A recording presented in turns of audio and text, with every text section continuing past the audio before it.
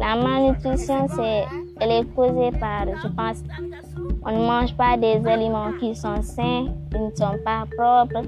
On, mange, on ne change pas la qualité ni la quantité. On mange du n'importe quoi, je pense. Je suis devenue une championne, c'est pour, pour aider mes camarades à les sensibiliser et les éduquer sur les, à propos de la nutrition. Quand on ne se nourrit pas bien, on va attraper des maladies.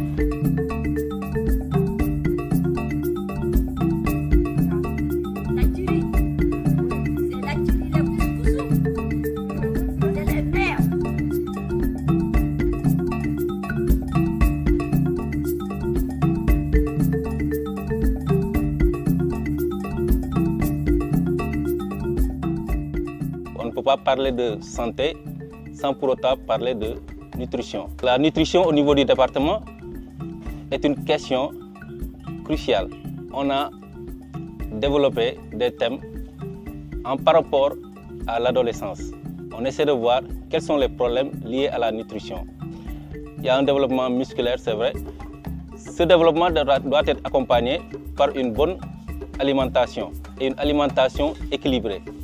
En période de chaleur, on remarque que beaucoup d'élèves tombent lors des épreuves physiques ou bien euh, en sortant de l'école et on est obligé de les évacuer à l'hôpital.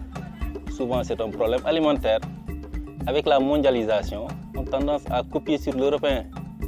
On mange industriel, n'est-ce pas? Avec ce qu'on suit à la télé, il y a certaines euh, publicités qui les incitent à manger industriel.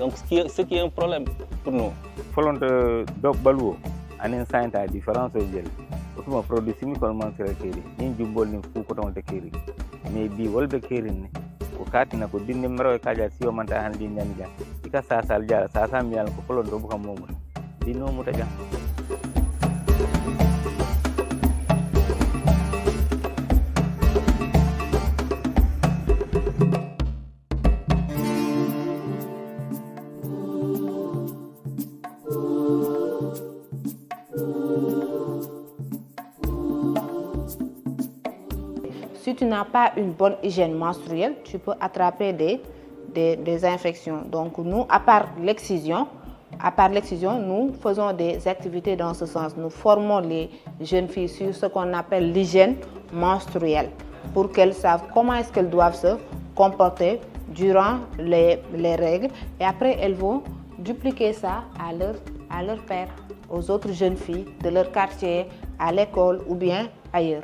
Aujourd'hui, nous avons enrôlé 10 communes et dans chaque commune, on a mis en place un club de jeunes filles. Et ces jeunes filles sont là. 35 jeunes filles ont été formées dans le cadre de ce projet Gauthier Future 2. Euh, C'est Bakary Gassama, je suis le project officer euh, du projet Gauthier Future 2 ici à Goudon. 350 jeunes filles ont été formées dans le département de Goudon qui sont en train de faire un excellent travail. Et toujours dans le paquet d'activités que le projet Gauthier Future 2 est en train d'offrir à ses collèges, à ses championnes, il est prévu la distribution des rations alimentaires, c'est important, qui occupe une place très importante dans le budget de ce projet. Nous allons vers la distribution des serviettes hygiéniques, parce qu'aujourd'hui, quand on parle de nutrition, il faut aller vers l'hygiène menstruelle. Des serviettes hygiéniques également sont prévues et nous allons également vers la distribution du matériel médical et des kits d'hygiène.